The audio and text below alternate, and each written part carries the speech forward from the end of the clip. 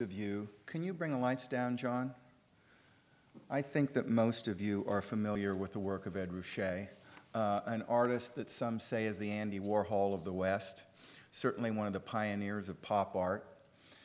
Uh, except other than soup cans, uh, which Andy Warhol painted, Ed Ruscha was interested in gas stations. And his most famous images are of these gas stations with this radically foreshortened effect. And it makes the common gas station look like a grand Parthenon. No, okay. Ah. Ed is almost a local boy.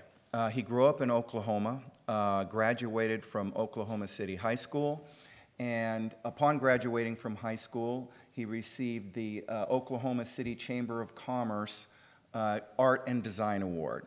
So this would have been a big deal for a guy who was 18 years old in Oklahoma City, but it was not a big enough deal for Ed.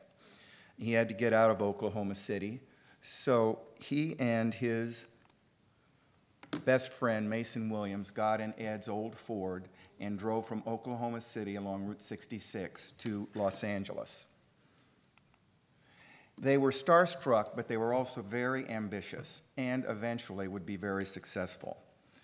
Mason Williams wanted to be a classical musician, uh, but his instrument was the guitar. And when you're in LA in the early 60s, you play pop music. And so he fused his classical ambitions with his pop ambitions and uh, had a, a number, it was a top 10 hit in 1967 called Classical Gas.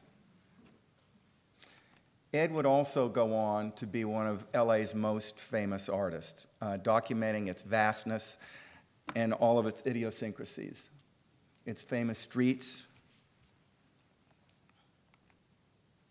its stucco apartment buildings. But it always came back to the automobile. And the automobile always led him back to the gas station. And it was that trip from Oklahoma City to Los Angeles in which he first took hundreds of photographs of gas stations along Route 66. And the thing that fascinated him most about these gas stations was the architecture. They were a kind of one horse town out in the middle of nowhere with an old guy and a young guy working the station. But the, the can these radical cantilevered um, canopies were what attracted his eye. And so when he began making his pop paintings in the 60s, he, he radicalized this foreshortened effect and created these, these gas stations, which became famous. And for Ed, the idea of this foreshortening is really, and I don't make this up because this word has been used a lot uh, today, was really about um, a, a modernist optimism. Something begins small, and expands to something larger.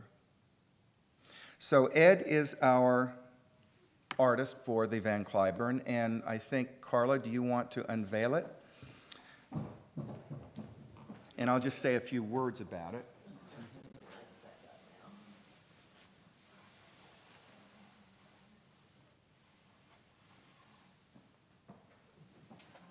So you can see that that